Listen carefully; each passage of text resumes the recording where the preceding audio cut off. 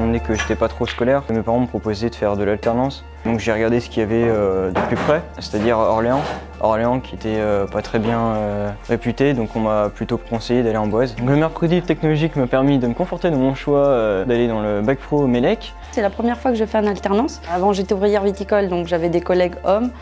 Donc je sais bien m'intégrer et tous mes collègues bah, sont contents d'avoir une femme dans leur équipe. C'est vrai que c'est pas évident de retourner à l'école avec des plus jeunes, hein. mais bon, on arrive. Hein. Donc moi j'ai découvert l'apprentissage grâce à mes parents qui ont fait eux aussi un apprentissage. Ça me paraissait plus intéressant d'apprendre un métier directement sur le terrain que derrière des livres où on ne voit pas l'aspect pratique et, voilà donc ça m'a permis d'apprendre un métier directement en, faisant un CAP.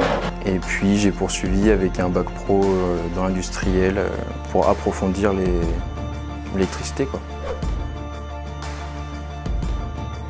je suis euh, en entreprise Loire et euh, à Orléans. Donc, je suis ici en internat, foyer Prometa d'Amboise. Je travaille beaucoup sur la rénovation de, bâtiments. Je fais aussi beaucoup de dépannage, donc des, petits soucis du quotidien qu'il peut y avoir dans l'électricité. Aller en entreprise, ça permet de découvrir réellement ce qu'est le métier d'électricien. Le chef est super, super sympa, on s'entend bien avec tout le monde, donc c'est super, nickel. Je suis en alternance à la SNCF et au pôle formation euh, d'Amboise. Et à la CNCF, en fin de compte, je suis au dépôt, donc on fait tout ce qui est euh, visite, un peu comme les contrôles techniques pour les voitures, mais sur les trains. Et on fait aussi euh, tout ce qui est maintenance électrique. Donc c'est super intéressant.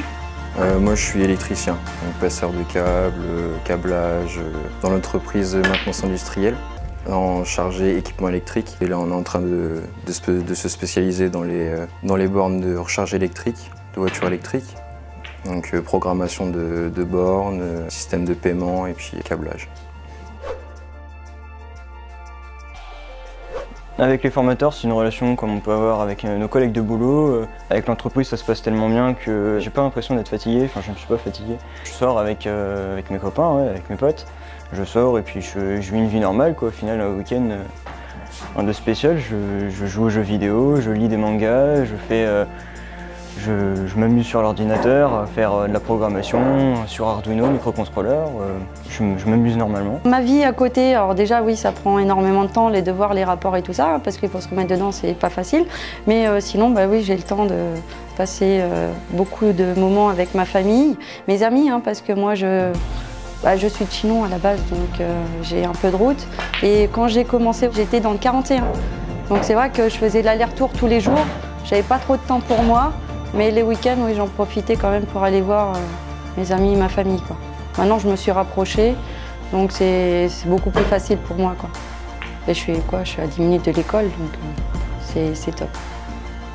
Ah bon, on s'y fait bien la vie au foyer, c'est sympa, on, rigole tous ensemble, il n'y a pas d'embrouille, on fait, on fait ce qu'on veut, enfin, certaines limites, mais on arrive à faire ce qu'on veut. Et puis, je fais du basket, beaucoup de basket je suis dans le club euh, SMBB à Saint-Maur. Moi, ça, me permet d'évacuer les, tensions qu'on accumule au travail, de, se défouler, de voir plus de monde, de, s'amuser.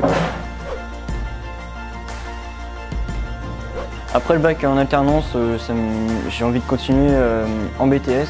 En BTS, cette fois-ci en informatique, plus en informatique, toujours rester en apprentissage. Euh, je me vois pas faire des études, euh, rester sur le, rester assis et au final euh, pas découvrir ce que c'est, pas découvrir le, monde professionnel. J'aimerais être embauchée à la SNCF, donc j'ai déjà fait part de mon souhait.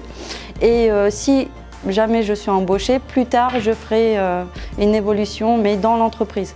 Mais partir sur le BTS, là, deux ans, je pense que c'est déjà bien en bac. Hein. Donc, à voir. Par la suite, l'année prochaine, je, retourne au CFA bâtiment euh, de Châteauroux pour euh, faire un plombier chauffagiste.